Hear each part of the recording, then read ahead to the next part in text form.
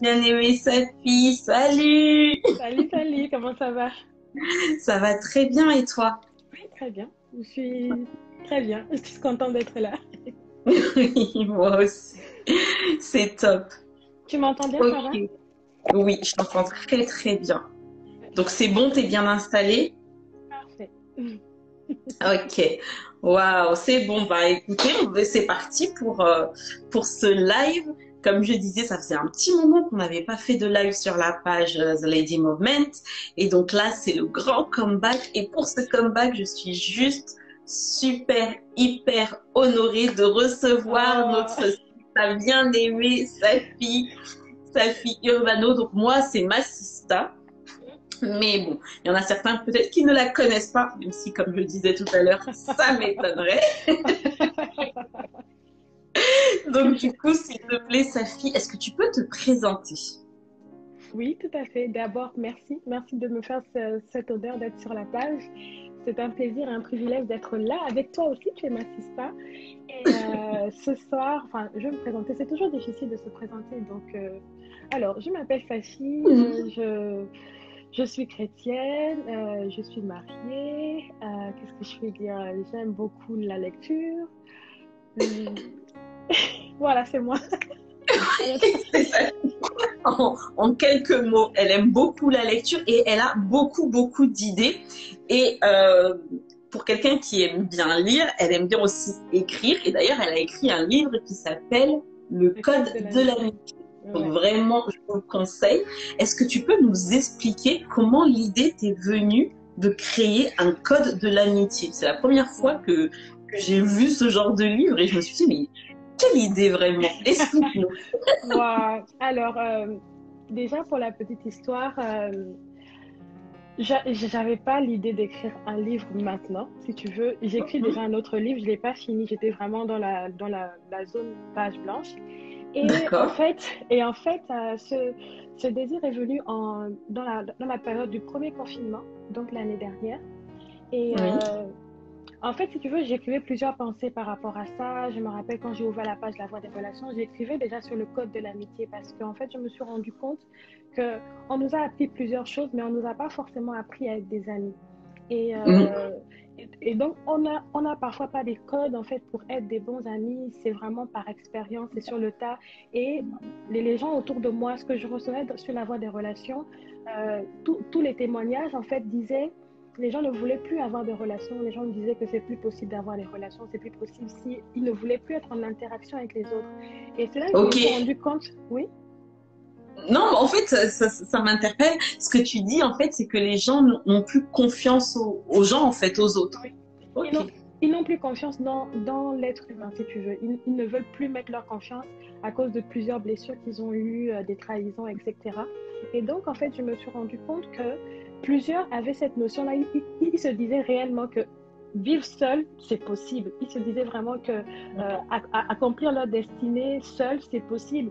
Et c'est là, en fait, que ça m'a ramené à quelques années en arrière avec euh, donc l'évêque Michel Ambourgois. Il avait dit une phrase. Il a dit Dieu et toi, ce n'est pas suffisant. Quand bien même Dieu et toi, c'est la majorité, mais Dieu et toi, ce n'est pas suffisant. On a besoin des autres. C'est très fort comme phrase. Hein sûr que ça m'a bouleversée parce que j'étais dans un, j'étais dans un mood où moi-même je ne voulais plus avoir d'interaction parce que j'étais profondément blessée. Et donc pour moi, pour moi, mon mari suffisait, euh, ma famille suffisait, mais dire que je ne n'avais pas besoin d'avoir d'autres personnes qui vont venir t'emmener encore. Non, non, non, Voilà, j'avais, vraiment refusé. Et euh, quand mm. j'ai entendu cette phrase, ça, ça a vraiment atteint directement mon cœur. Je dis, waouh. Dieu et toi, ce n'est pas, suffisant. Mmh. en tout cas. Et donc, et donc c'est à partir de là que je me suis dit, OK, je veux mettre en place un code pour pouvoir en fait être euh, un outil d'aide pour toutes ces personnes qui ne savent pas comment être en relation avec les autres, qui ne savent pas bâtir des amitiés ou des relations solides. Et justement, dans ce code-là, c'est vraiment un engagement. Je me suis inspirée un peu du, du, code de la, de la route parce que quand on conduit, il y a un code de la route. Tu, peux mhm, tu ne peux pas faire n'importe quoi sur la route. Tu as des codes, tu dois faire le stop. Et donc, je me suis dit, OK, on nous apprend à conduire, on a un code de la route. Pourquoi pas mettre en place un code de l'amitié pour permettre aux gens qui ne croient plus que c'est possible de ramener l'espoir dans leur cœur, de leur dire, en fait, si c'est encore possible, si vous mettez en place des codes, en fait une base solide pour commencer une relation. Voilà d'où est venue l'idée du code de l'amitié. L'idée du code de l'amitié. Ok, bah Excellent, excellent, parce que vraiment, moi, quand je l'ai lu, je l'ai beaucoup aimé. Alors, du coup, je me suis même dit, il faut que je le relise bien, parce que je l'ai lu un petit peu rapidement. Et j'ai dit, non, il faut bien que je reparte dedans, vraiment, mhm. parce que euh, déjà, j'ai beaucoup aimé la manière dont il était organisé, comment il était fait, avec les articles. Donc, c'est vraiment, comme tu as dit, le code de la route, c'est quelque chose de sérieux. Il y a des articles à respecter, des définitions qui sont et puis ensuite, tu abordes des, euh, des thèmes très importants. J'ai beaucoup aimé quand tu as dit, euh, ben, pour avoir des amis, tu dois être un ami. Et donc déjà, il faut que tu sois euh, vrai avec toi-même pour pouvoir attirer des personnes vraies. Et ça, j'ai beaucoup apprécié parce que ben, c'est vraiment quelque chose qui, euh, qui fait partie des valeurs euh, du, du, Lady Movement. En fait, à chaque fois qu'on fait des posts euh, sur la page Lady Movement, on, on encourage euh, les femmes et puis ben, les hommes qui nous suivent aussi, mais vraiment, euh, les personnes qui suivent cette page, on les encourage à pouvoir être vrais, à pouvoir affronter leurs émotions, affronter euh, ce qu'il y a à l'intérieur, leurs sentiments, pour pouvoir euh, être une bonne personne et donc du coup être capable de donner des bonnes choses aux gens qui sont autour d'eux. Et donc vraiment, c'est pour ça que la connexion s'est faite très rapidement. Hein. Euh, ça fait, moi, ça fait quoi? Ça fait quelques mois qu'on se connaît maintenant, on s'est connus en 2021. Mais vraiment, on est en phase et donc euh, j'ai beaucoup apprécié euh, le code de l'amitié.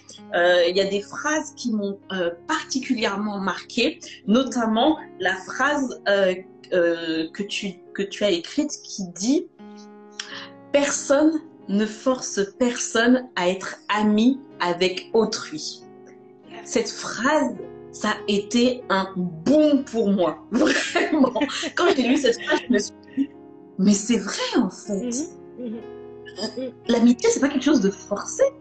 L'amitié, c'est une décision que tu prends. Tu, tu, tu dis oui, euh, j'apprécie cette personne, je veux passer du temps avec cette personne, donc je m'engage à être son ami. Mhm. Et donc, en même temps qu'on attend certaines choses, on doit être capable aussi de donner. Tout à fait.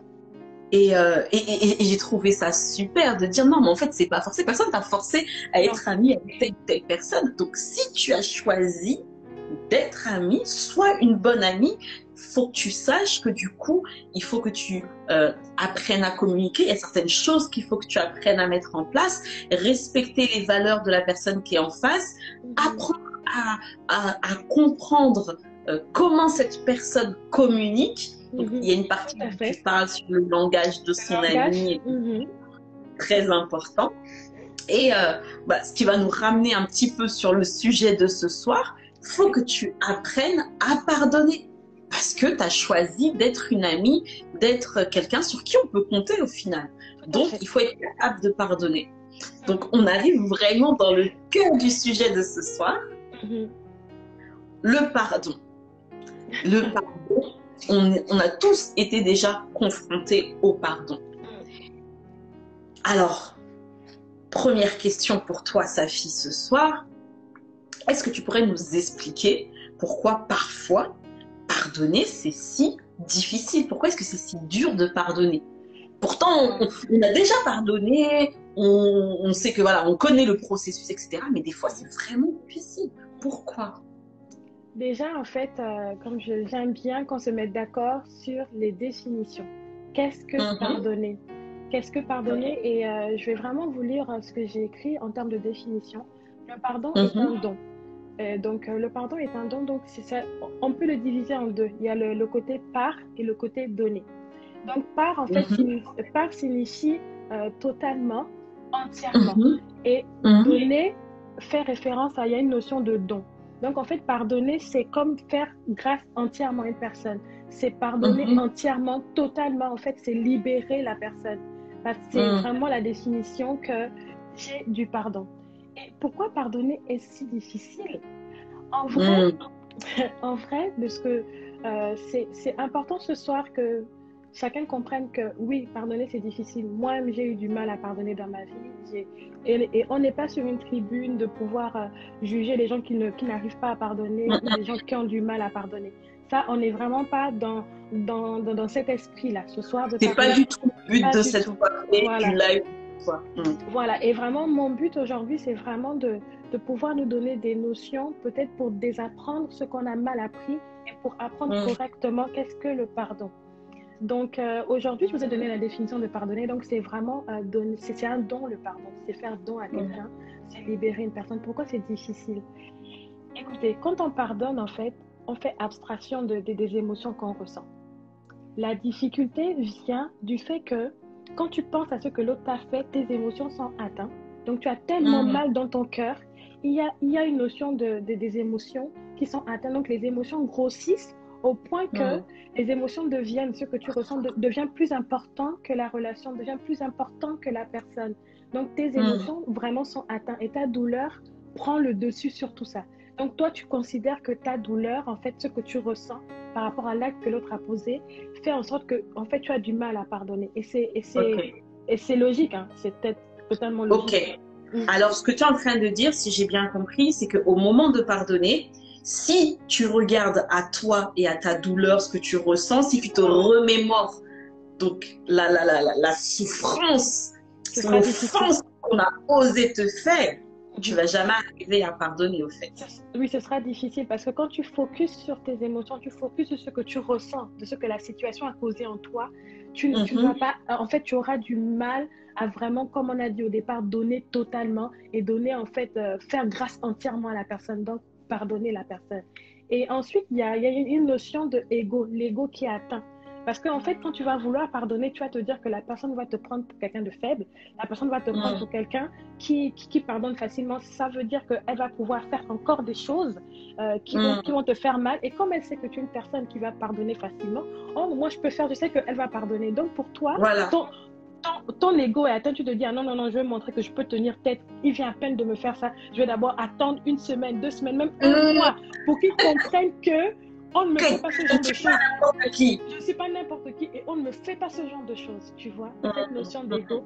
Et il y a également cette notion de, comme je disais, se, sentir faible, comme si on, c'est comme si lorsqu'on pardonne, on se sent inférieur à l'autre. Et c'est une fausse notion, en fait. C'est erroné. En fait, quand tu, en fait, il y a des gens qui pensent que lorsqu'ils vont accorder leur pardon, l'autre devient comme supérieur parce que l'autre a eu la, supériorité sur ses émotions, tu vois. Elle a, elle, elle a mm. su atteindre tes émotions et tu te dis, si je pardonne, mm. elle va croire qu'elle est plus importante que moi. Elle va croire. Tu sais, donc il y a la notion de, de, de pensée qui vient rendre la décision d'accorder une grâce entièrement à l'autre difficile. Tu vois, donc c'est vraiment pourquoi c'est dur de pardonner. Mais il y a une chose que j'aime et euh, c'est, comme j'ai dit au départ, je suis chrétienne et pour moi, Jésus est le modèle par excellence dans les relations. Jésus a vécu des trahisons de la vie, pas une trahison. On, parle souvent de la trahison de Judas. Il a vécu plusieurs trahisons, Jésus. Il a vécu celle de, de, de Pierre qui l'a renié, etc. Les gens qui étaient avec lui. Et jusqu'à à la croix, lorsque Jésus a accordé le pardon, il a dit, Père, pardonne-leur car ils ne savent pas ce qu'ils font. Il, hmm. était, il était dans une souffrance. En fait, personne, je crois, n'a encore subi cette souffrance, aussi bien intérieurement parce qu'il avait crié, Père, pourquoi m'as-tu abandonné, que physiquement, avec les clous. Il souffrait tellement en lui hmm. et sur lui, mais il a pu accorder le pardon. Comment il a fait Parce qu'il a fait abstraction de ce qu'il pouvait ressentir. Tu vois ce que je dis les, Pourquoi c'est difficile? Parce que les émotions parfois prennent le dessus. Si Jésus avait considéré les hommes qui l'ont euh, châtié, s'il avait vu la douleur que ça faisait quand il a dit Père, éloigne, éloigne cette coupe de moi, mais que son père a quand même gardé la coupe, s'il avait mm. considéré tout ça, je, je, pense que dire ça au niveau de la croix, Père, pardonne-leur, penser encore aux autres, en fait, prier encore sans. Je ne pense pas. Humainement, mm. enfin, Jésus était humain, mais si nous, on, on, on ramène à nous-mêmes, tous les jours, je crois que ce sera vraiment difficile. Donc, vraiment, il y a cette notion de faire. Euh, pourquoi, pourquoi c'est difficile? C'est vraiment les émotions, c'est l'ego. C'est le fait, d'avoir des pensées erronées. Voilà, c'est ce que je peux dire par rapport à cette question. Ok, ok. Merci beaucoup pour ces clés, Safi, parce que vraiment, là, tu as touché un point très important de pouvoir euh, aller au-delà de nos émotions, de ne pas s'arrêter à juste ce qu'on ressent. Le pardon va au-delà de nos émotions. Ça, c'est très très fort. Je le garde comme punchline. le pardon va au-delà de nos émotions. Et donc, du coup, euh, maintenant, de manière pratico-pratique, comment est-ce qu'on peut faire pour pardonner à quelqu'un qui nous a trahis? Donc là, tu as parlé de Jésus qui a subi plusieurs trahisons, euh, des reniements, etc. Donc, comment est-ce qu'on fait concrètement quand ben, quelqu'un qu'on apprécie, quelqu'un à qui on a fait confiance, nous trahit Comment est-ce qu'on fait pour avancer? Alors, comme je disais, il vaut mieux qu'on vienne d'abord sur la définition de trahison. Qu'est-ce que hmm. une trahison? C'est quoi être trahi? Mmh. trahi, etc. J'ai noté que j'ai lu plusieurs définitions, mais j'ai noté une. Euh, la trahison est définie comme le crime d'une personne qui trahit, qui passe à l'ennemi. En fait, tu es considéré comme un traître. Tu passes d'un autre côté. Et en fait, le synonyme, c'est être déloyal. Lorsque tu trahis quelqu'un, tu deviens déloyal. Mm-hmm. Ça veut dire que tu n'as pas respecté les termes de notre accord. Par exemple, mm-hmm. moi, je suis venue te confier quelque chose. C'était vraiment un mm-hmm. secret que je te confie. C'est dans un cas pas bien précis. Mais toi, tu as pris cette chose, tu l'as sortie du cadre et tu es allé la, la, la, mettre sur la place publique. Et donc, moi, je me sens trahi et je, et je, te considère comme une personne déloyale parce que j'ai voulu te faire confiance et tu, as, tu, as, et tu m'as trahi, tu vois. Ça, ça c'est faire vraiment les bases de la trahison. Maintenant, comment pardonner après une trahison? Je veux rappeler une chose, vraiment, c'est, je, je, je le parle, peut-être c'est des mots comme ça, mais comprenez bien le sens lorsqu'on est trahi, nos émotions sont vraiment atteintes. Il y, a un effet dévastateur sur les émotions. Il y a des gens qui, se, qui, qui, ne, qui, ne, veulent plus vivre parce que lorsqu'ils ont été trahis, ils se sentent vraiment très mal. Au niveau de mm. nos pensées, de nos émotions, ça fait vraiment très mal. Donc, pour pardonner, comme je dis, pardonner est un choix. Lorsque tu mm. vas choisir de pardonner à une personne, ça ne veut pas dire que lorsque tu as choisi de, de pardonner, par exemple, Gladys, je choisis de te pardonner, ça ne veut mm-hmm. pas dire que dès que j'ai choisi de te pardonner, euh, la trahison disparaît, la douleur mm. disparaît, les émotions mm. disparaissent. Non. C'est pour ça que je disais qu'il faut vraiment comprendre dès le départ que le pardon est un choix. Ok, tu m'as trahi. Et il faut aussi avoir cette notion que, ok, tu m'as trahi, je te pardonne. Et parfois, lorsque tu pardonnes à la personne qui t'a trahi, parfois c'est la fin de votre relation. Mais tu as pardonné. Ça veut dire que tu l'as libéré parce qu'il y, a des, y a des situations qui vont vous emmener à, à réaliser que vous ne pouvez plus cheminer ensemble. Maintenant, si tu choisis de pardonner après une trahison, c'est que tu fais le choix de pardonner et tu acceptes que lorsque tu as ouvert ton cœur au pardon, tu ouvres en fait, tu rentres dans un processus de guérison. Et c'est la guérison qui prend le temps. C'est la guérison qui prend le temps de, de processer tout ce que tu as ressenti lorsqu'il y a eu l'acte de trahison. C'est la guérison qui c'est le processus de guérison. Donc, il faut faire confiance au processus de guérison. Tu peux demander de l'aide à ce moment-là aux personnes qui sont peut-être en même à t'accompagner dans ce processus de guérison. Mais encore une fois, lorsque tu te sens trahi, lorsque tu es trahi par une personne, tu fais abstraction de ce que peut-être tu ressens, c'est difficile. Tu accordes le pardon pour toi. Tu accordes le pardon pour toi-même pour que tu puisses rentrer dans un processus de guérison. Imagine, on a l'habitude de rigoler ensemble tu, mm. tu, tu, me trahis, tu vois, je, je, me sens frustrée, blessée. Si je ne t'accorde pas le pardon, on ne pourra plus avoir ces moments ensemble de, de, de passer du temps ensemble. Il y, a, il y a la situation de manque de pardon emmène une atmosphère morose, une atmosphère mm. où les, les, les, émotions sont toujours négatives, où tu n'arrives pas à percevoir même le futur dans un environnement sain, agréable, de joie. Mm-hmm. Et donc, lorsque tu accordes ton pardon malgré ça, tu, tu casses cette atmosphère-là parce que tu veux rentrer dans un processus de guérison. Et c'est là un peu les, euh, la difficulté de certaines personnes parce qu'elles se disent que si, pourtant j'ai pardonné, mais j'ai encore mal. C'est normal parce que après, c'est un processus de guérison. Guérir, mm. c'est pas à la, à la, minute même que tu as, pardonné en fait. Mais mm, pardonner, mm, pardonner peut se faire là tout de suite. Je dis Gladys, je, je te pardonne. Et après, tu dis, je veux guérir. Donc parfois, tu peux, demander, tu peux demander du temps. Je peux te dire, Gladys, je veux du temps, je te pardonne, mais je veux du temps pour processer mes émotions, tu vois. Parce que mm, mm, je mm, sais que te voir tous les jours pourrait ne pas m'aider à guérir vraiment comme je veux. Oui, mais j'ai mais accordé le pardon. Mm, mm. et ce que tu dis est très, très fort. Et donc vraiment, euh, ce qui est en train de sortir là, c'est puissant. Hein. Donc si vous voulez inviter vos amis, c'est maintenant qu'il faut envoyer des messages, vous transférer vite, vite, vite le live là de ce soir, parce qu'il y a des choses qui sont en train de sortir qui sont très, très fortes. Et donc il y avait une question qui nous avait été posée par Denise tout à l'heure, qui nous demandait donc est-ce qu'il faut oublier pour pardonner? Et donc là, tu es en train de répondre à cette question au final. Oui, en fait. Euh, c'est ça aussi, c'est l'une des, notions que je veux apporter pour aider quelqu'un. On n'oublie pas. Quand on pardonne, on n'oublie pas. Tu sais, quand, euh, quand tu te fais. Euh, moi, j'ai pas mal de cicatrices. Je sais pas si on voit. J'ai une cicatrice ici, là. Tu vois ça? Oui, on voit un petit peu, ouais. Mm. Ok. La cicatrice, en fait, te rappelle ce que tu as vécu. Moi, je, je montre ça parce que c'est physique, mais une, une blessure intérieure, on ne peut pas forcément la montrer. On ne peut pas ouvrir son cœur et montrer toutes les cicatrices. Mais pour mm. moi, la, cicatrice a cette notion de nous rappeler ce qu'on a vécu. Lorsqu'on pardonne, lorsqu'on accorde le pardon à quelqu'un, ça ne veut pas dire que tu as oublié ce que la personne a fait. Non, ça n'efface, mm. en fait, ça, ça, n'efface pas le souvenir de ce que la personne a fait. Et, ce que j'aime bien, bon, je reviens parfois à Jésus comme ça. Lorsque Jésus est ressuscité, il, il avait encore les cicatrices sur son corps. Pourquoi? Mm. C'est pour, pour rappeler ce qu'il a vécu sur la croix. Et passé. Voilà ce qui s'est passé. Donc, en fait, dans notre cœur, on porte énormément de cicatrices, euh, des, des, des, des, situations euh, compliquées qu'on a vécues, des trahisons qu'on a vécues. On porte ces cicatrices-là parce que on a accepté de process le, le, la guérison dans notre cœur. Ça fait que la cicatrice, aujourd'hui, elle est là. Je sais que j'ai eu mal un jour, mais je ne sens plus la douleur. Elle est là, mais je ne mm. sens plus la douleur parce que mm. j'ai accordé mon pardon, je suis rentrée dans un processus de guérison. La blessure a guéri, mais elle m'a laissé une trace. Elle a mm. laissé une trace sur ma vie, elle a laissé une trace sur, sur le chemin de ma destinée, elle a laissé une trace dans mes pensées, elle a laissé une trace dans mon cœur. Tu vois ce que je veux dire? Donc c'est vraiment, c'est vraiment cette notion-là qu'il faut, qu'il faut euh, comprendre dans le fait de pardonner. Ça ne veut pas dire mm. qu'on oublie, on n'oublie pas. On n'oublie pas, je peux pas. En fait, comprenez que le passé est, est, vraiment passé et on ne peut pas faire comme si le passé n'est pas passé. C'est vraiment. Comme s'il n'a jamais existé. Non, c'est pas possible. On ne peut pas faire mm. ça. Ça, c'est impossible de le faire, tu vois. Il a vraiment existé. Mais seulement, c'est que c'est ce que je dis, les gens doivent comprendre que lorsque tu pardonnes, ça ne veut pas dire que tu oublies. Non. Mm-hmm. Ça veut dire que tu acceptes de rentrer.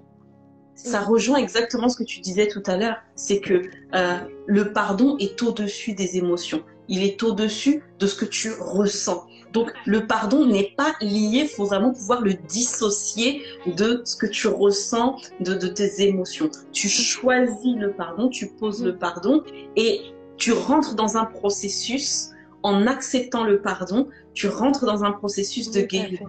Oui, il y a des traces, mais ce que tu as dit était très très profond. Ces traces-là te rappellent ce par quoi tu es passé. Donc ces traces-là, au final, ces marques, t'enseigne. Et c'est ça, en fait, les, marques de Jésus, en fait. Les, les stigmates de Jésus, c'est vraiment pour qu'on puisse se souvenir de ce qu'il a payé pour nous à la croix et que plus jamais on ne l'oublie, en fait. Tout à fait. Il y a des marques comme ça qui restent sur nous. C'est pour nous enseigner, c'est pour... En fait, pour moi, c'est aussi des forces, quoi. Tu sais que là où tu es parti, ça t'a fait mal. Tu te dis que, attention, sa fille, l'huile brûle. Mm. Est-ce que tu te souviens que. Est-ce que tu te souviens que l'huile chaude L'huile là, ça? Voilà. Ça peut marquer. voilà. Mais du coup, est-ce que demain tu vas pas avoir peur de l'huile? Vu que maintenant tu t'en souviens en fait. Je me souviens, en fait. Je... Est-ce que ça risque pas de créer une, un autre, une autre forme de problème maintenant, tu vois, par rapport à l'huile. Est-ce que moi, je m'approche plus de l'huile Justement, en fait, c'est ce que je dis, c'est tout un processus. En fait, tu vas, tu vas commencer à aller dans un processus de guérison. Moi, je sais que l'huile m'a brûlé, mais je saurais mhm. maintenant comment utiliser l'huile pour cuisiner. Je sais que quand je veux soulever le couvercle et il y a de la vapeur, je ferai attention à la vapeur parce que la dernière fois, ça m'a pris le bras. Donc, je sais que hmm. je vais toujours aller parce que j'aime cuisiner. Voilà, j'utilise toujours l'huile. Donc, ça, ça ne veut pas dire que... Les bonnes raisons restent là quand même, qui te poussent quand même à aller vers la personne. Donc, tout n'est pas forcément mauvais dans l'huile, tout n'est pas forcément mauvais dans la vapeur. C'est ça. Et justement, je veux rajouter quelque chose d'important. C'est n'est hmm. pas parce qu'un être humain t'a trahi que tous les êtres humains vont te trahir. Mm. Donc, ne, ne, prends pas un cas pour une généralité. Et c'est pour, ça que je, c'est pour ça que je dis qu'il faut continuer à croire en l'homme, à, l'être humain. C'est pas parce que tu as vécu une trahison, deux, trois trahisons que tous les humains vont te trahir. Non, c'est vraiment pas une fatalité. Et c'est pour ça que c'est vraiment qu'il faut que les gens acceptent cette notion de se dire, OK, j'ai été trahi par cette personne-là, mais demain, c'est pour ça que je t'ai dit que je peux toujours utiliser l'huile. Parce que je sais que j'ai été blessée là, avec lui, mais demain, je saurai comment utiliser l'huile. Je saurai que cette blessure m'a appris à comment bien utiliser l'huile. Donc, cette, cette trahison que tu as vécue hier peut t'apprendre encore à mieux voir les humains que tu voudras faire rentrer dans ta, dans, ta maison, dans ta, dans ta destinée. Euh, voilà, vraiment ça, cette notion-là. Waouh! Waouh, waouh, waouh, waouh, vraiment, ah, ça c'est ce que j'aime, c'est vraiment ce que j'aime, c'est Donc clairement, au début, ça fait mal, mais ensuite, ça t'apprend à mieux faire demain. Tant que ce n'est pas terminé, tu peux mieux faire au final. Et donc, les étapes difficiles par lesquelles tu es passé, les trahisons que tu as subies, c'est pour que demain, ce soit encore plus glorieux. Donc le meilleur reste à venir. Et ça, ça me rend juste heureuse. Je suis pleine de joie. Donc c'est vraiment top, top, top. C'est vraiment très fort. Et euh, là, tu viens de soulever un, autre sujet. Donc tu m'emmènes à te poser une autre question encore. Vas-y, je t'écoute.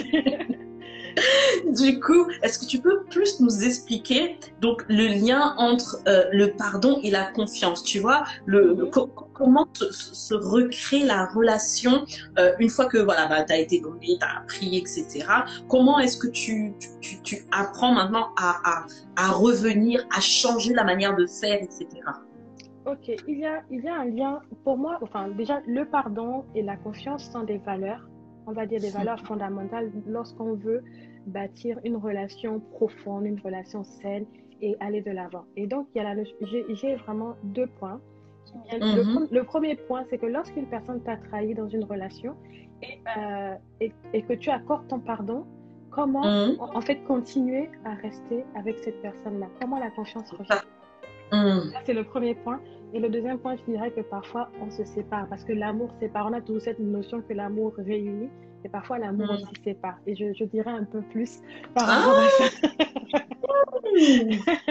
Donc en fait, si tu veux, pour moi, la confiance, c'est un sentiment de sécurité. En fait, tu te sens en sécurité mm. avec la personne. Mm, et, donc, en fait, c'est vraiment le lien qui maintient une relation.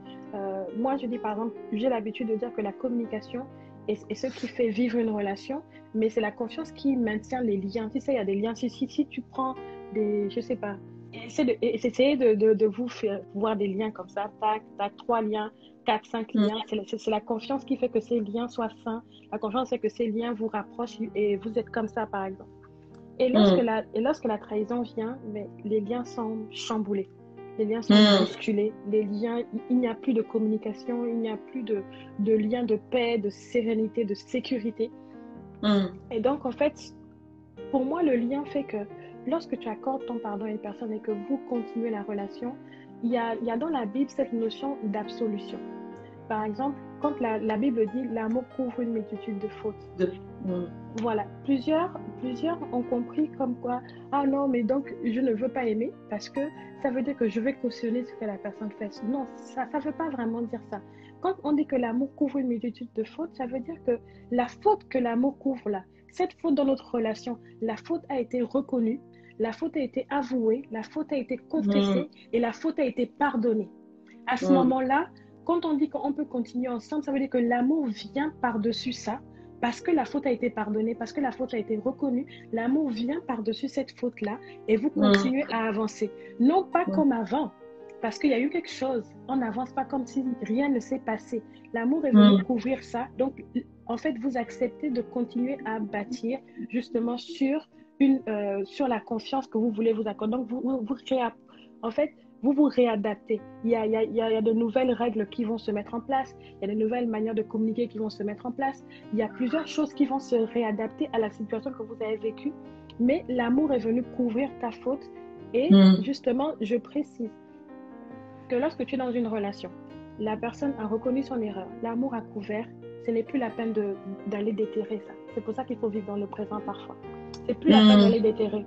Une fois que tu as pardonné, une fois que l'amour a recouvert, si tu es dans une relation amoureuse, une relation amicale, c'est pas la peine d'aller prendre ça comme des, des, des, balles pour tirer sur l'autre. À, voilà, dès qu'il y, a, dès qu'il y a un conflit, dès quelque chose. Tu ramènes encore. Euh, et puis tu te souviens, là, moi je t'avais pardonné. Hein ça, alors que c'est pour ça quand la Bible parle de couvrir la faute, c'est l'absolution de la faute. C'est bon.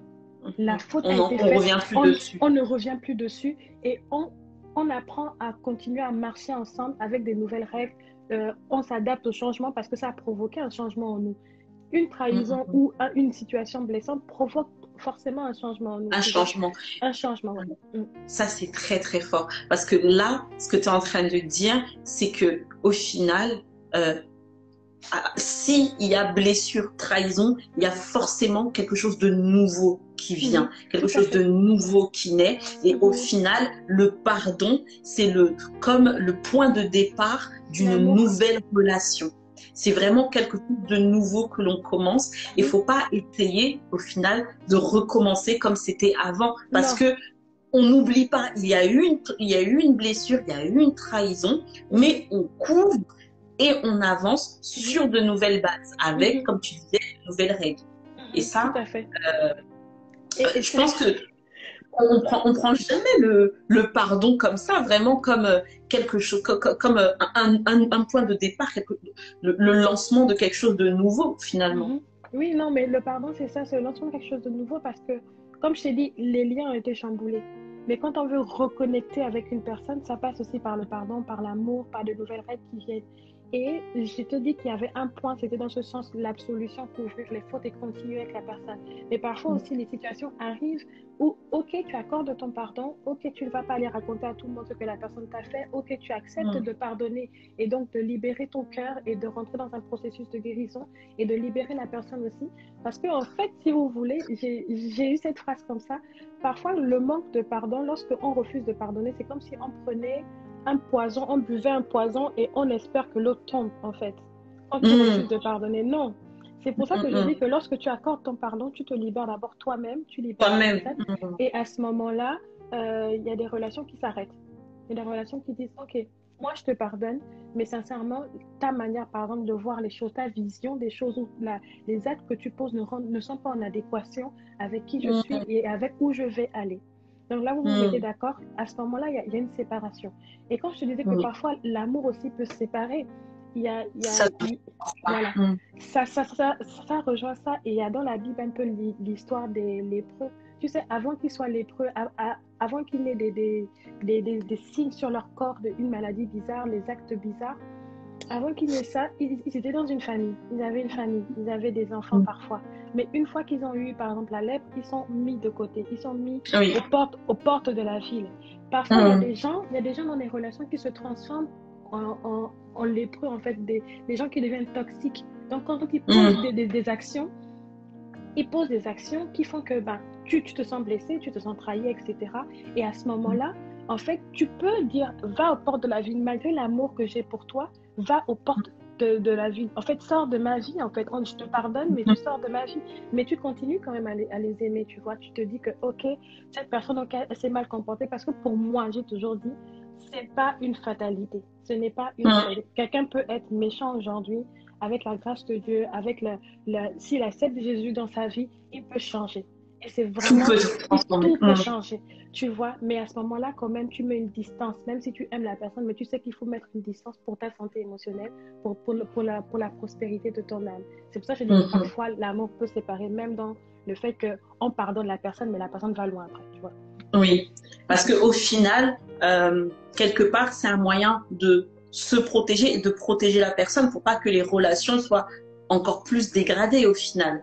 Et ça encore, c'est quelque chose qu'on n'a pas l'habitude de faire, de se dire parce que je t'aime, au final, je préfère euh, préserver l'état de nos relations. Vaut mieux qu'on se sépare pour ne pas que toi et moi, ça empire au final. Donc, quelquefois, en effet, les trahisons, faut pas les voir comme quelque chose de mauvais, comme tu dis. C'est vraiment un signe qui vient te dire où est-ce que tu en es dans ta relation. Est-ce que vous devez partir sur de nouvelles bases ou est-ce qu'au final, vous devez vous séparer Et si vous vous séparez, dans l'amour, on se dit bonjour, on reste cordial, mais il n'y a plus de lien fort comme il aurait pu y avoir auparavant. Et donc ça, c'est marrant. Ouais, ouais dis-moi. c'est marrant parce que du coup, ça me fait rebondir sur, euh, sur euh, une autre thématique. Mais euh, avant que je rebondisse, je te laisse terminer ta phrase parce que je t'ai coupé, désolée. Non, oui, non, t'inquiète, c'est pas grave. Non, c'est pour ça que je, voulais juste dire, c'est pour ça que je dis souvent, parfois il y a des gens qu'il faut aimer de loin. Hmm. Voilà. Ah, je t'aime de loin. je ne vais pas faire rentrer dans mon intimité. Je t'aime, mais je t'aime de loin. Ah, ah je t'aime de loin. Non, ça, moi, je vais commencer à le dire, ça. je t'aime beaucoup, mais de loin. je ne sais pas comment les gens vont le prendre, mais c'est important. En fait, on doit être capable d'aimer les gens de loin. Et ça, c'est quelque chose euh, qu'on n'a pas appris à le faire, en effet. On n'a pas appris tout le monde ne peut pas être dans ton intimité. C'est ça que les gens oublient. C'est pas, pas parce que tu aimes une personne qu'elle doit forcément être dans ton, intimité, dans ton intimité. Quand la Bible dit aime ton prochain comme toi-même, tu aimes ton prochain. En fait, tu dois de l'amour à tout le monde. Tu les aimes de loin. Mais ceux qui se rapprochent de toi, il y a des gens, tu te dis non, je t'aime, mais vraiment de loin. Parce que je sais que si tu te rapproches, ça ne va pas aller. Tu vois Oui. Et, et, et, pour arriver à dire ça, il faut se connaître. Il faut savoir quelles sont ses limites. Il faut savoir en fait qui on est. Et à ce moment-là, tu dis, pour ce genre de comportement, en fait, le caractère, la personnalité, ok, moi je t'aime, mais tu peux pas rentrer dans mon intimité. Mhm. et, ça va te préserver de beaucoup de trahisons, de beaucoup de, de trucs bizarres, etc. voilà, clairement, et de, de beaucoup de, de, peine, etc. Mhm. Et donc, du coup, comme je disais tout à l'heure, ça m'emmène à rebondir sur le fait que euh, dans la croyance euh, populaire, on va dire, euh, pour pardonner, en fait, il faut vraiment faire table rase, recommencer à zéro, etc. Et des fois, il y a un peu une sorte de sentiment de culpabilité où tu dis, ouais, bah, est-ce que je suis, est-ce que j'ai vraiment pardonné? Parce que j'ai l'impression que c'est un peu hypocrite et tout ça. C'est mhm. peut-être un faux pardon. Euh, tout à l'heure, je voyais dans les commentaires Coretta qui disait, euh, bah, si les émotions sont encore là, etc. Est-ce que c'est un vrai pardon? Est-ce que je vais vraiment de l'avant? Ou est-ce que je suis en train de me mentir à moi-même en fait? C'est pas forcément évident de faire euh, le point sur ça. Et donc, est-ce que tu as des billes euh, pour nous ce soir? Ça revient un peu à ce que je disais au début. Tu sais, lorsque tu accordes ton pardon, c'est indépendamment, indépendamment de tes, de, de tes émotions. Ça n'a rien à voir d'abord avec tes émotions tu acceptes de demander pardon. Et les émotions sont là. En fait, tu as encore mal. C'est-à-dire, moi, moi, parfois, il m'arrive de. Euh, mon mari et moi, on s'est pris la tête. Ok, il me demande pardon. Dit, il, me pose la question est-ce que tu me pardonnes? J'ai dit oui, je te mm. pardonne. Mais j'ai toujours mal. Je suis énervée même. Tu vois, dans mon cœur, je sens encore que je suis encore énervée.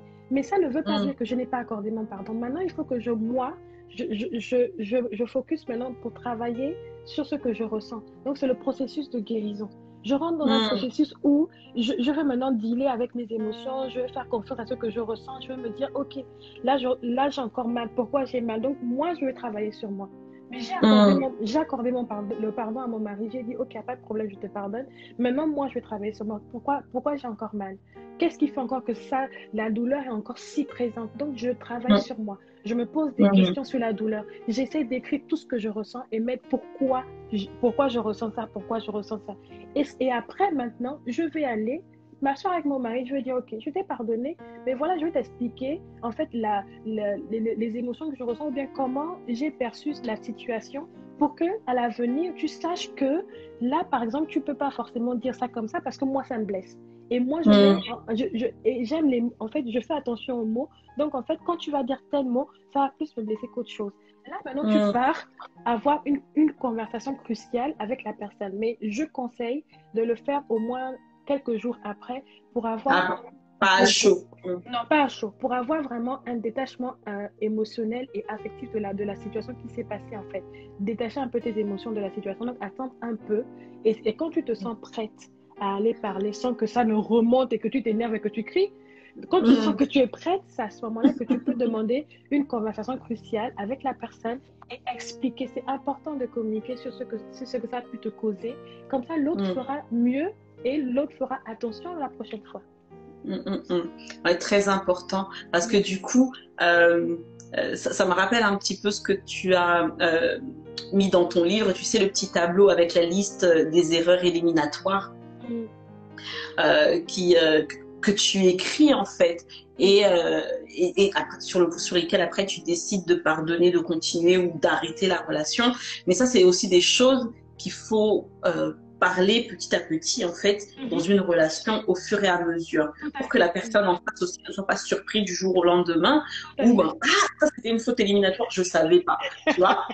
Quand on a le code de l'amitié hein du coup on, a déjà écrit ça on sait que non ça c'est vraiment quelque chose c'est impardonnable et euh, euh, on, on, en informe les personnes avec qui on marche, avec qui on avance, pour qu'on sache que, ah voilà, moi, euh, ce genre de choses, je peux pas le faire si, je le fais, euh, peut-être je peux le faire à une autre personne, mais si je le fais à sa fille, là, ça va lui faire mal. Donc avec sa fille, il y a ça et ça comme règle à avoir. Et ça, c'est comme je disais, la communication qui revient encore une base où euh, il faut être capable de d'expliquer ce que l'on ressent, mais ça veut dire aussi il faut se connaître et aussi maîtriser ses émotions parce que sinon, bon, ça risque de partir un peu au quart de tour et tout ça. Donc ça, c'est encore une autre école. Peut-être qu'on fera euh, un, un, ce qui est sûr, c'est que pour euh, tous les membres de l'association euh, The Lady Movement, il y a un atelier qui est prévu sur la gestion des émotions. Donc restez bien connectés. Oui, oui, oui, oui, avec, avec, une psychologue oh. chrétienne. Donc on va, on va l'annoncer. On va l'annoncer et on communiquera les informations. Pour l'instant, je fais un peu du teasing. Hein. Comme ça, ah, c'est bien que tu restes connecté, bien sûr. voilà, mais vraiment, c'est quelque chose d'important de pouvoir euh, être tempéré. Voilà, de ne pas être tout le temps dans des extrêmes, de partir au quart de tour, mais de savoir être tempéré et de se dire, OK, là il y a ci, là il y a ça. Est-ce que ça, je pardonne et je continue, ou est-ce que là, je m'arrête? Vraiment, c'est des, des, questions euh, à, à, se poser euh, bah, au préalable, tout simplement. Tout à fait. Mm. Ok. Non, bah c'est très très bien. Je vois qu'il y a, eu quelques petites questions qui ont été posées dans le chat, dans la boîte à questions. Vous faites bien. Euh, on, va. J'ai encore un petit point à, relever pour euh, pour sa fille parce qu'elle a posté quelque chose sur sa page cette semaine qui m'a titillé. Donc on va revenir dessus et entre temps vous faites bien de poser les questions dans la boîte à questions parce que on va y répondre tout de suite euh, après cette cette citation. Mm-hmm. Donc sa fille. Oui. Explique. Dis-moi. Pourquoi tu as dit cette semaine que le pardon n'est pas un mérite? Sinon, personne ne serait pardonné. Pourquoi est-ce que toi qui es une bonne personne, tu es une gentille personne toute souriante, pourquoi tu ne mérites pas le pardon? Explique-nous. En fait, euh, dans, dans, en l'essence, ce que je voulais dire, c'est qu'en fait, chacun de nous, on a déjà été pardonné une fois. Parce qu'on mm. a, on, a eu à poser des actions. L'enjeu du pardon est de comprendre que finalement, si aujourd'hui, si hier quelqu'un m'a pardonné, aujourd'hui je peux pardonner aussi. En fait, si tu mm. considères le pardon comme un mérite, parce qu'un mérite, comment, comment je vais t'expliquer le mérite C'est-à-dire, tu, tu, as eu un devoir, tu as étudié, tu as bien mis les réponses, tu as tout coché bon, tu as 20 sur 20. Tu mérites 20 sur 20 parce que tu as tout bon. En hmm. fait, personne aujourd'hui ne peut dire qu'il n'a jamais fait poser une action qui a fait hmm. que ça n'a pas blessé l'autre, ça n'a pas heurté la sensibilité de l'autre. Donc, en fait, si tu prends le pardon comme un mérite, à cette personne ne mérite pas mon pardon, c'est comme si tu te mettais dans une posture où tu n'as jamais été pardonné. Comme si tu te mm. mettais dans une posture où tu n'as jamais fait très de mal à quelqu'un et la personne t'a accordé son pardon.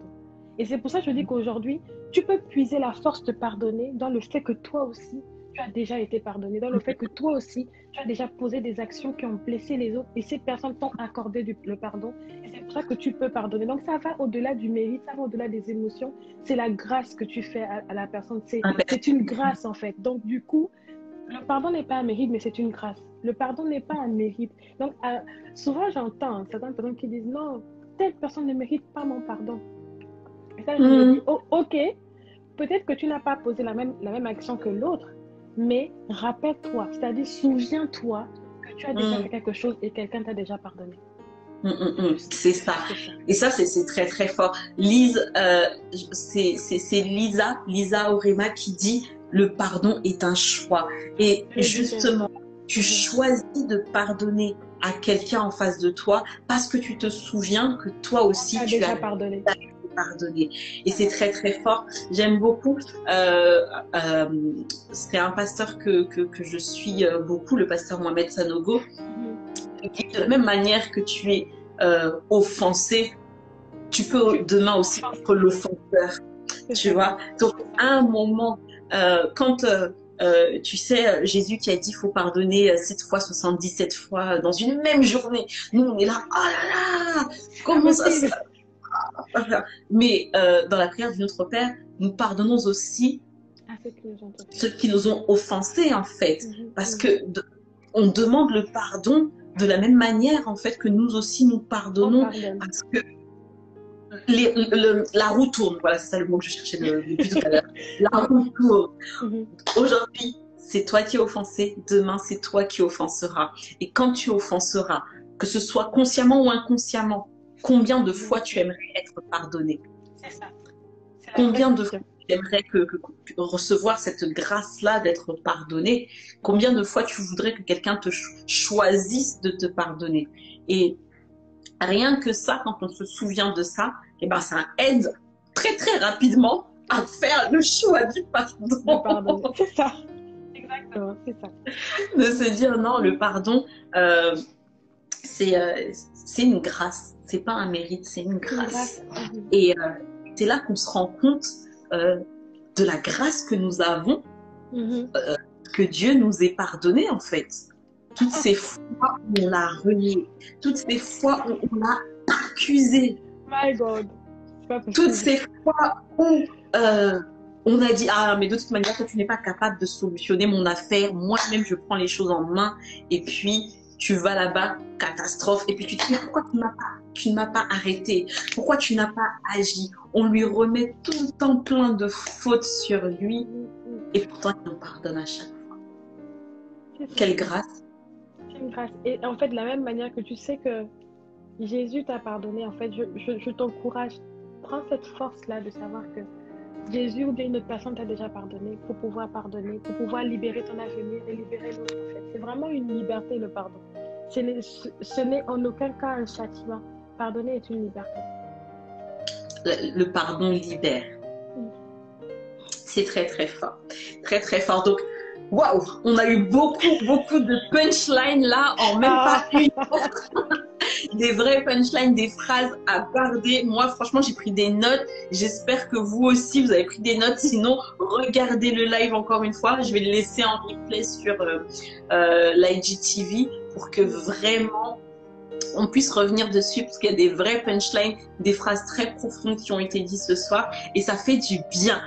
Ça fait du bien. Donc moi, je sais pas vous, je suis très très bien là maintenant tout de suite très contente euh, de participer à ce live. Donc, si vous aussi c'est le cas, mettez des cœurs, faites des cœurs, faites des cœurs.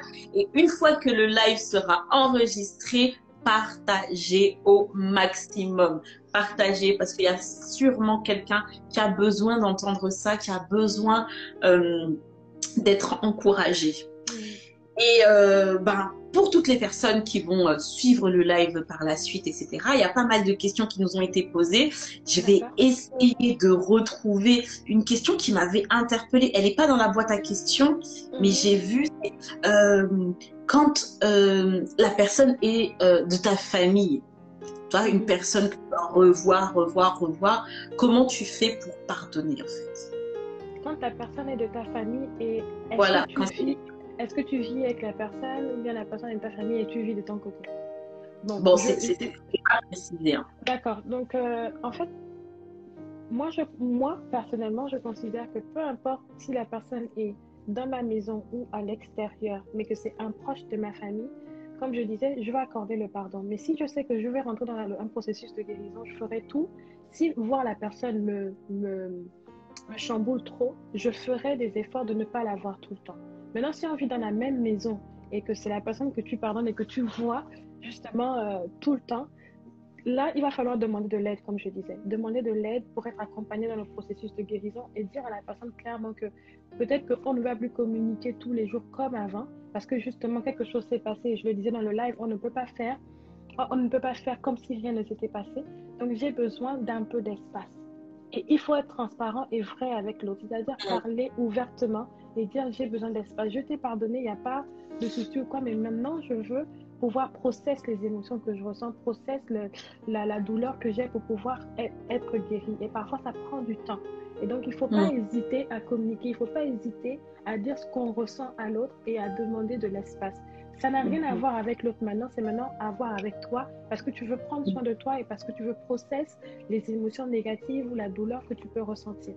Ah, évacuer au maximum. Mm-hmm. Voilà. Et quelque part, le fait que ce soit quelqu'un de ta famille, ça, peut aussi faciliter le, la communication, le fait de lui expliquer les choses un peu plus clairement. Euh, euh, bah, avec, avec, euh, avec sincérité, transparence, de dire bon là vraiment, je prends un peu de recul. Mhm. Ok, donc voilà, c'était ça la question que j'avais retrouvée. Je l'avais vue passer, puis en fait, euh, Ojen l'a mis euh, dans la boîte à questions. Donc voilà, comment gérer lorsqu'on doit pardonner ou se faire pardonner quelqu'un de sa famille? Bah, sa fille, euh, sa fille a donné une clé importante, hein, la communication. Mhm. Parler, euh, parler sincèrement, euh, dire que bon bah là, je te pardonne, mais il va me falloir un peu de temps pour guérir de l'offense. Et euh, ben, si c'est toi que j'ai offensé, je te demande pardon. Allez, ben, toujours avec le respect, hein, l'humilité, parce que ben, là, cette fois-ci, c'est nous qui sommes offenseurs. Hein. on a dit des fois offensés, des fois offenseurs.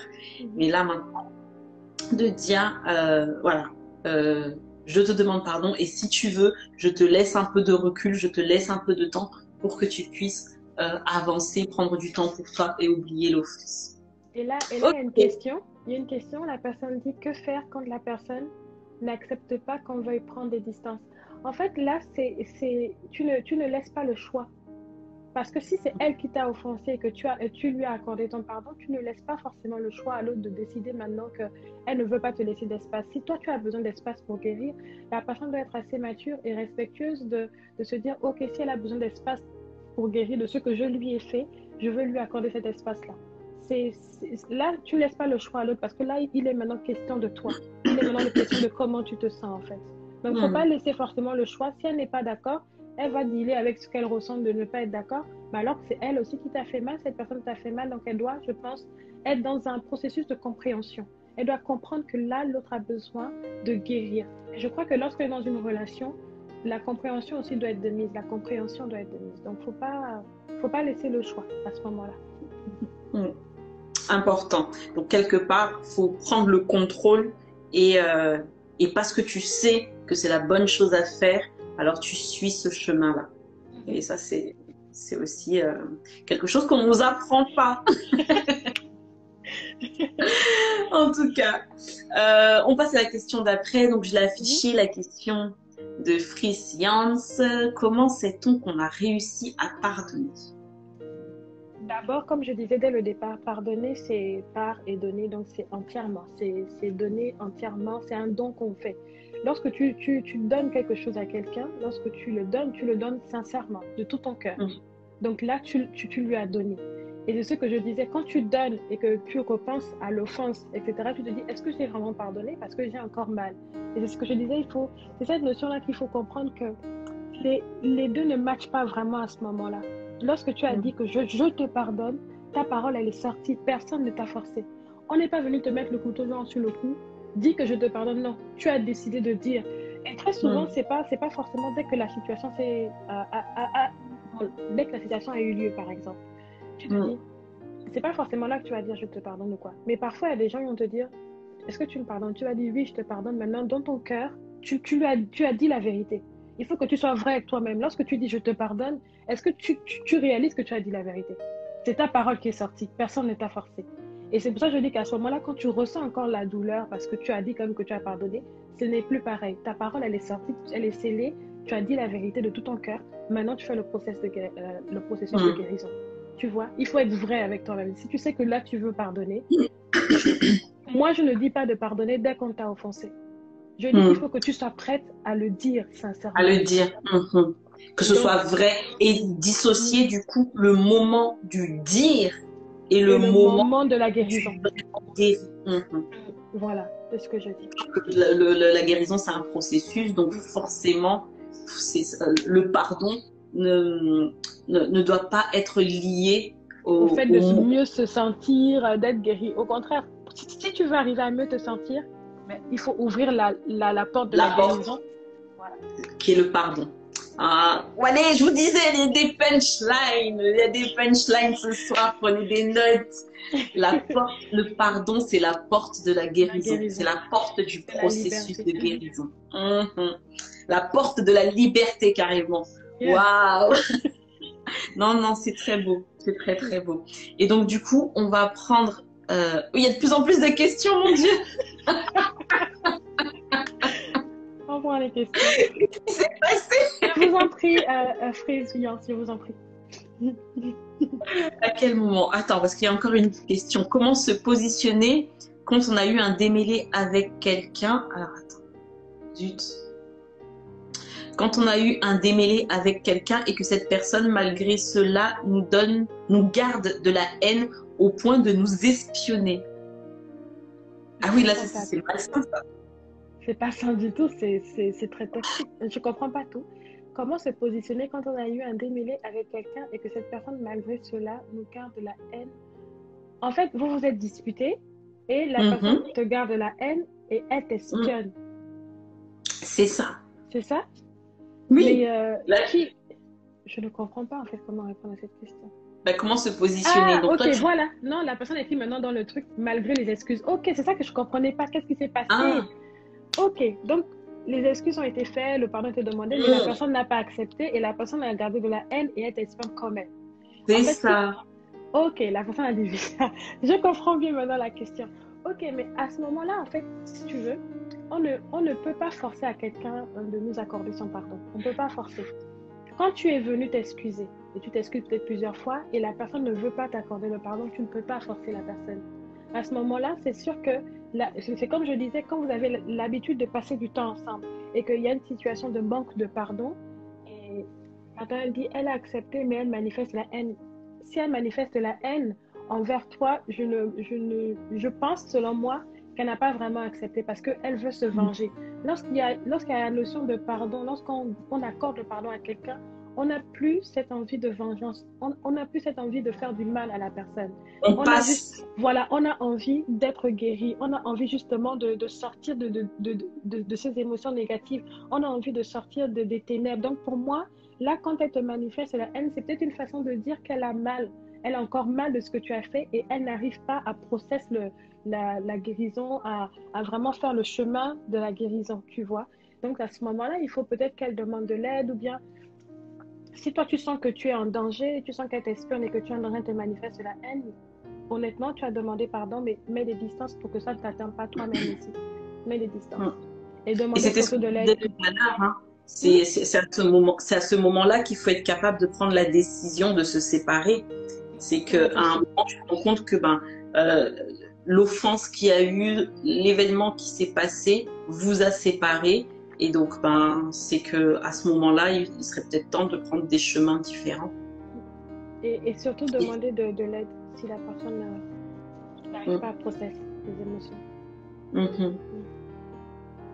Ok, ok, ok. Donc, merci pour la réponse. Euh, tiens, une autre question ici qui revient.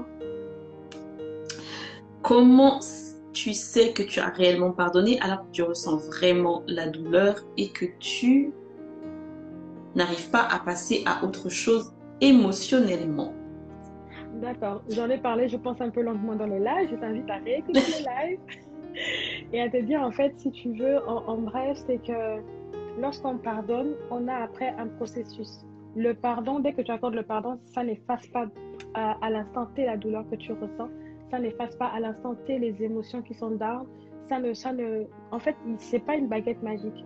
Ça parce que tu as dit pardon que tout disparaît en toi. Tu as un travail après à faire.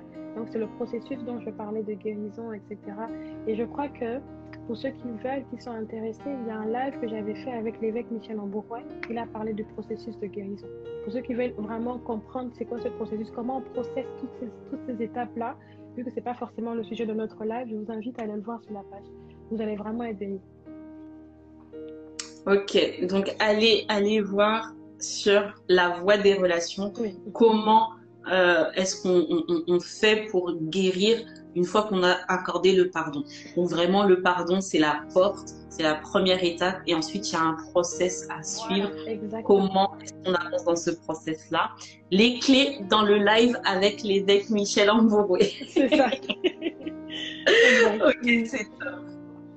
Ok, ok. Bah, ça fait plus d'une heure que euh, on est on est là connecté. Euh, je crois qu'on a on a répondu à pas mal de questions. Je suis en train de vérifier parce qu'après c'est des questions qui reviennent. Elles sont euh, elles sont plus ou moins semblables et et donc vraiment il y, y, a eu tellement de punchlines ce soir. Les quatre, mais genre, je suis, je suis, je suis bordée là, tu vois. oh my god. vraiment beaucoup, beaucoup de, de, de, phrases profondes. On en rigole, mais c'est vraiment des clés au final pour pouvoir avancer dans nos relations. Parce que, bah, comme tu disais au tout début, euh, c'est pas suffisant en fait. Euh, de vivre dans son petit cocon, dans son petit monde, pas seulement parce que, euh, euh, comment dire, on n'est pas heurté, etc., et que voilà, on n'est pas vraiment guéri, tout ça, tout ça, mais au final, tout ce qu'on est en train de faire là par rapport aux relations, c'est parce que nous sommes des canaux, nous sommes des canaux par lesquels notre Dieu celui qui nous a créés veut passer pour bénir les gens autour de nous.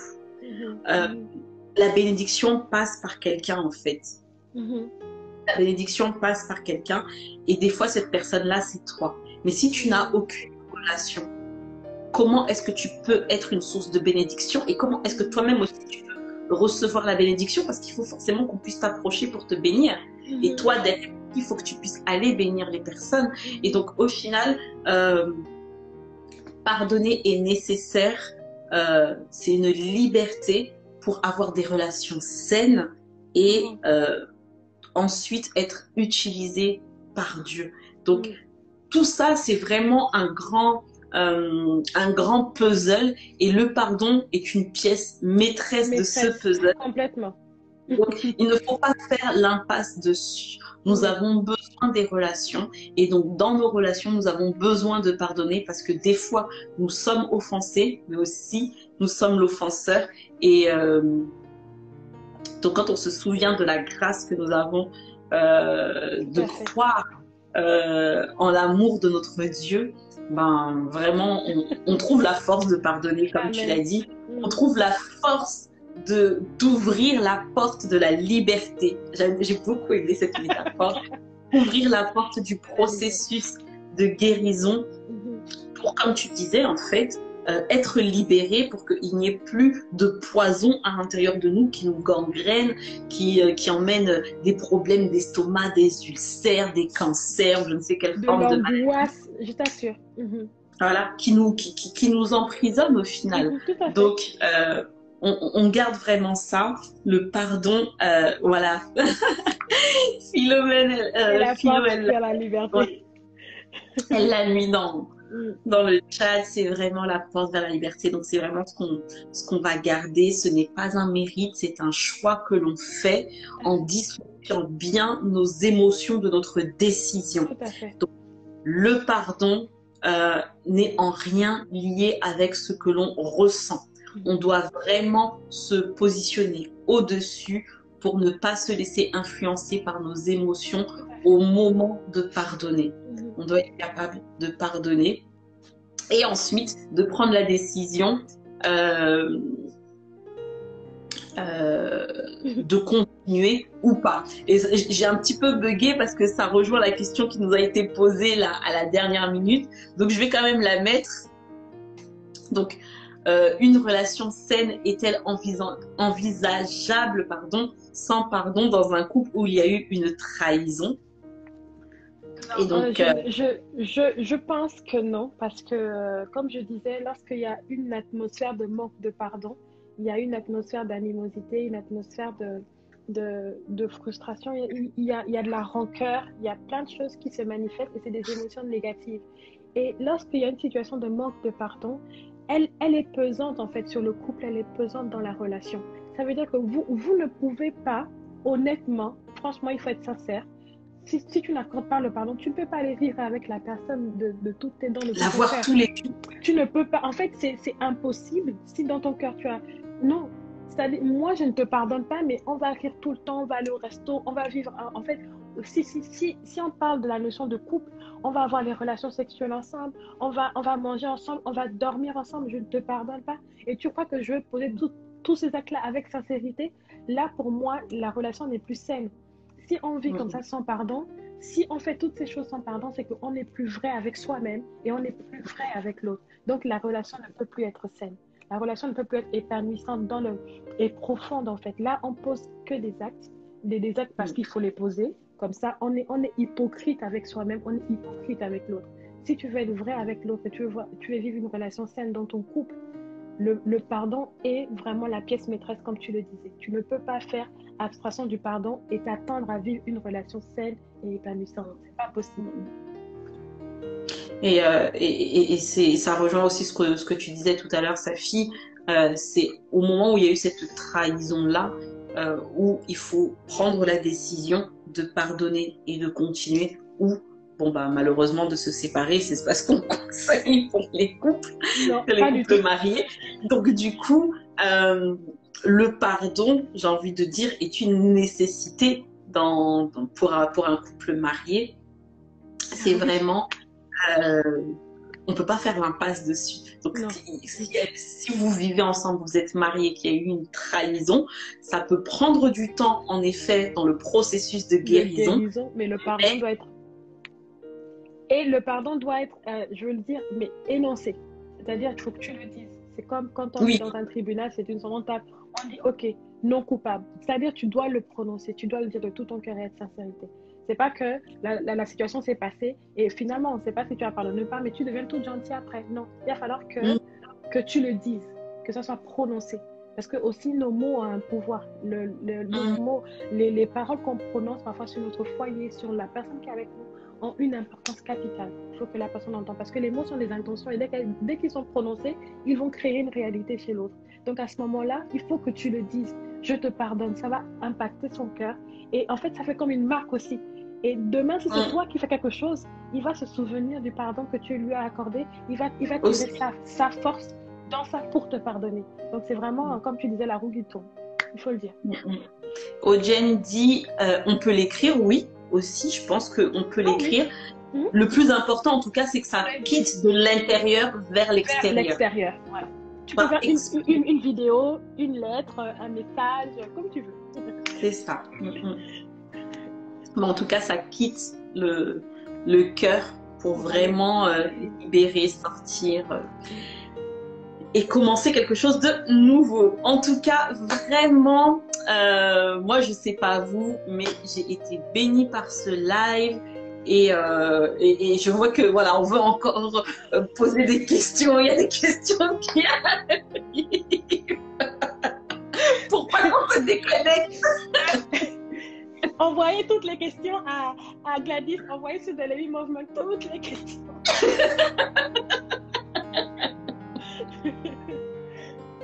après le live. Si vous avez encore des questions. oui, voilà. Si vous avez des questions, envoyez à Gladys. Peut-être qu'on on trouvera un moyen de faire. Si je peux répondre à d'autres questions, il n'y a pas de problème. En tout cas, avec plaisir. Vraiment avec plaisir. Mais là, sur la dernière question, hein, c'est la, la, dernière pour la route. Uh Donc, il y en a encore qui arrivent.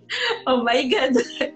Parce que dit, et si on a l'occasion, on n'a plus l'occasion de parler avec la personne donc, ça, veut dire que la personne, elle est, elle est, elle est morte ou la personne est ah, vivante, mais il n'y a, plus de, y a plus de contact du tout. Il y a plus de, oui, il y a plus de contact. Et s'il n'y a plus de contact du tout, si tu n'as plus la possibilité d'avoir le contact, dans ton cœur, tu pardonnes. Dans ton cœur, tu libères, en fait. Tu, tu, tu le dis à toi-même que, OK, je pardonne. Je pardonne à cette personne, même si je n'ai plus contact avec elle. Je, tu le dis même à haute voix, je, je te pardonne. Et en fait, ça va te libérer toi. Si la personne n'a pas l'occasion. Maintenant, si tu as l'occasion, bien plus tard, mais vraiment, tu peux encore lui dire. Mais si tu n'as plus aucun contact vraiment avec la personne, c'est dans ton cœur maintenant que tu dois pardonner à la personne, par exemple. Mais en tout cas, euh, bah, ça, fait aussi partie des questions qui ont été rajoutées là, si je ne si je me trompe pas. C'est euh, c'est important, comme tu disais, de le dire de quand tu pardonnes dans ton cœur. Parce qu'en fait, même quand on pardonne dans notre cœur et qu'on n'est plus en contact avec la personne, on a juste tendance à dire euh, ok, bon ben, je pardonne la personne dans nos réflexions. Et en fait, ça reste à l'intérieur. Et moi, euh, je, je, je, suis vraiment une partisane de l'expression. Mm. Euh, On est deux. En fait, euh, j'étais euh, euh, dans, dans, le passé, euh, j'avais des problèmes de peau, j'avais des problèmes d'estomac. Enfin, vraiment, ça n'allait pas parce que je gardais tout à l'intérieur. Mm. Et donc, j'ai vraiment appris à exprimer. Et euh, ça m'a pris du temps à apprendre à exprimer avec la bonne forme, etc. Donc, de bien maîtriser les émotions pour pas exprimer ça bizarrement.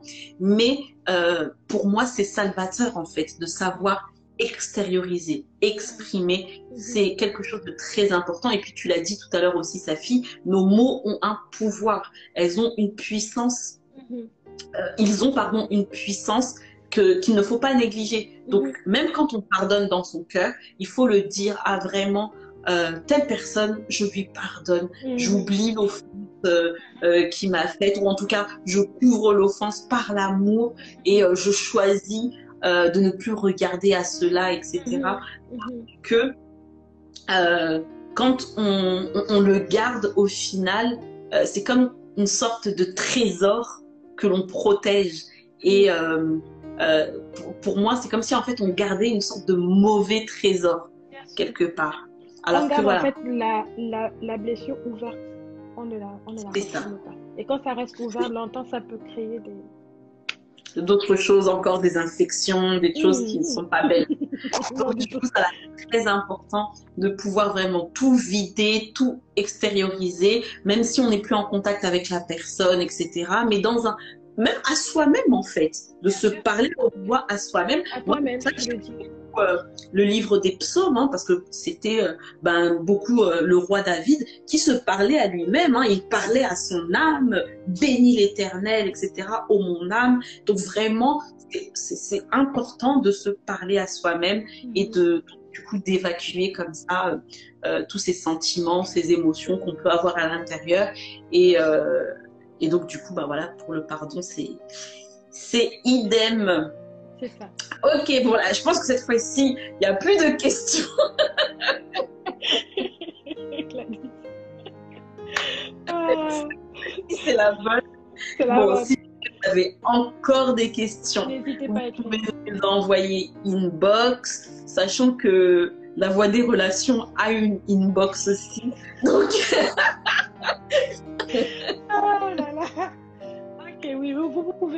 pouvez vous pouvez faire à Gladys. En tout cas, on est, on est disponible et vraiment, on va répondre aux questions euh, du, du mieux qu'on peut. Vraiment, n'hésitez pas. On est, euh, on est là pour ça, j'ai envie de dire. C'était vraiment une joie de faire ce live euh, ce soir. Merci beaucoup, Safi, d'avoir pris le temps. Vraiment, cœur sur toi. mettez des cœurs, mettez des cœurs, s'il vous plaît. Aidez-moi à témoigner tout, tout, tout mon amour, toute ma gratitude. Merci à, à toi. Ça pour, euh, pour ses clés, ses punchlines, ses directions mm-hmm. qu'elle a apportées à beaucoup ce soir. C'était vraiment top. Et je sais que voilà, en réécoutant le live, beaucoup seront bénis. Donc encore une fois, je rabâche. Désolée. Partagez, partagez le live, ne gardez pas pour vous cette, euh, cette source de bénédiction, tout simplement, cette source de joie, cette euh, porte de libération. tout à fait. Parce que euh, demain, euh, vous aussi, vous en aurez besoin, tout simplement. Vous en aurez besoin. Et, euh, et voilà, donc celui, celui qui arrose sera lui aussi arrosé, j'en suis sûre. Quand vous bénissez quelqu'un avec, euh, avec le live, vous aussi, vous serez béni en retour. Amen. Donc, j'ai hâte de faire encore un live avec toi, Safi. Oh, avec plaisir. Bon, bon moi, mais, mais, mais, moi aussi, je te le dis, hein, bientôt aussi, je te ferai. Et d'ailleurs, dans très, très, très, très peu de temps. ah, ah mhm, mhm. Ce sera avec joie parce que à chaque fois, euh, je passe un excellent moment dans ta présence. Et, euh, vraiment, je pense que c'était un, un, moment inspiré. On en avait besoin. Je suis sûre que plus d'une personne avait besoin d'entendre ça. Et euh, vraiment, tu as été la bonne personne au bon endroit au bon moment. Et euh, c'est ce qu'on aime au Lady Movement.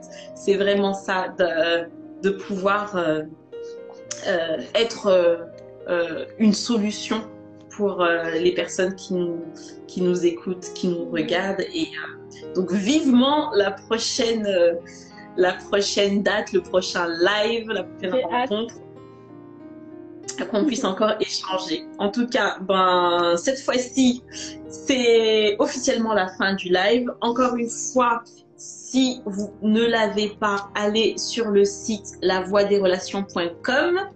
Vous le code de l'amitié. Un livre qui est super bien fait. Et, euh, je ne l'ai pas dit tout à l'heure, mais à la fin, il y a carrément une feuille d'engagement. Donc, une feuille où je ne, ne, dévoile pas tout, laisse-les aller découvrir le livre. Je ne fais pas d'engagement. Voilà. vraiment un engagement qui est pris. Et en fait, c'est pas un simple livre, c'est ce que je voulais dire.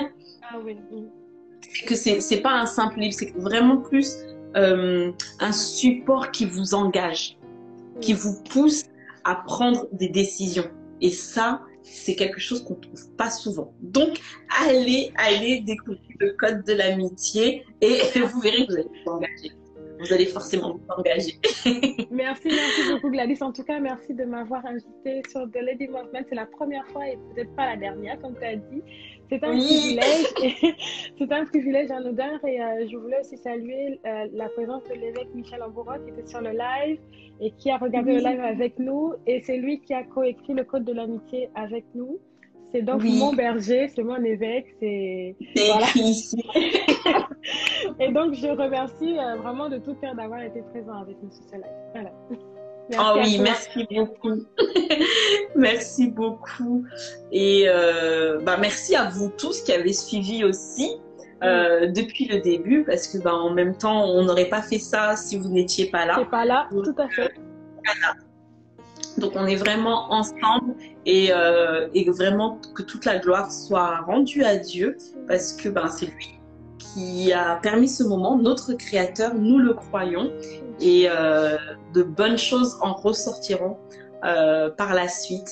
Alors du coup, je suis juste très contente de, de recevoir vos témoignages, toutes vos impressions. N'hésitez pas, envoyez-les-nous. Euh, si vous avez mis en pratique surtout les résultats, voilà, partagez, partagez au maximum ce que vous avez vécu. Ça va, euh, ça va édifier euh, encore par la suite. Amen.